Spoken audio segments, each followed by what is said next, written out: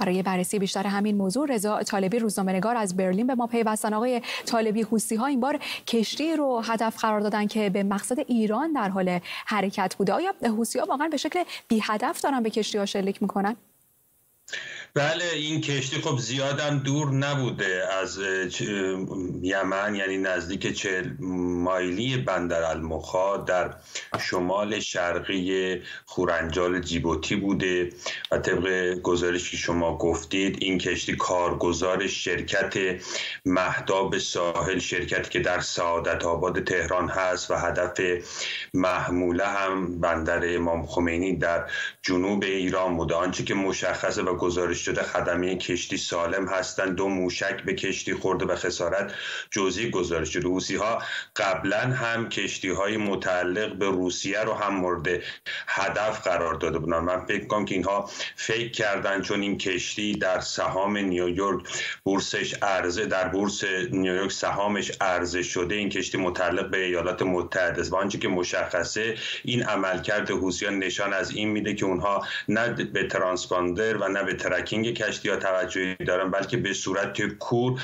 فقط اینکه در دریای سرخ هیچ معامله و تجارت انجام نشه که در این بین هم کشتی هایی که متعلق به متحدین خودشون مثل ایران و همچنین روسیه هست مورد هدف قرار میدن.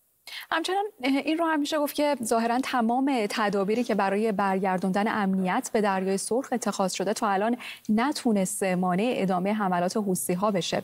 آیا کشورهای غربی برنامه جایگزینی برای برقراری امنیت در دریای سرخ در اختیار ندارند خب برنامه جایگزین الان نیست. خب کشورهای عربی و عربستان هم می‌بینید که از ینبه و خط لوله سومت دارن از شمال دریای سرخ دارن نفت خودشون رو صادر می‌کنن. کشورهای غربی هم به صورت تاکتیکی دارن با نقطه زنی هایی که انجام میدن. فکر می‌کنن که می‌تونن مانع حوثی‌ها بشن. ولی که بهترین طرحی قبلا هم نماینده های ائتلاف جنوب به ایالات متحده اعلام کردن این بود که تقویت نیروهای جنوب تقویت نیروهای ائتلاف عدم بود که بدین صورت بتوانند در داخل خاک یمن مانع قدرت و توسعه طلبی حوسی ها بشن. ولی آنچه که ما امروزه میدیم ایالات متحده و متحدانش فکر می‌کنن که با حملات تاکتیکی و تقویم گونه ای که به حوسی انجام میدن می‌توانن مانع حملات حوسی ها بشن. هرچند این حملات حوسی ها رو ضعیف کرده ولی کماکان می‌بینیم با پشتیبانی جمهوری اسلامی ایران حوسی ها دارن به حملات خودشون در دریای سرخ و ممانعت از تجارت جهانی ادامه میدن.